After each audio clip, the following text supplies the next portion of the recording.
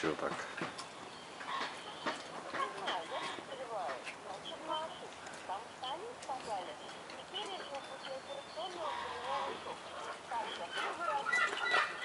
Да нет, такого быть не может.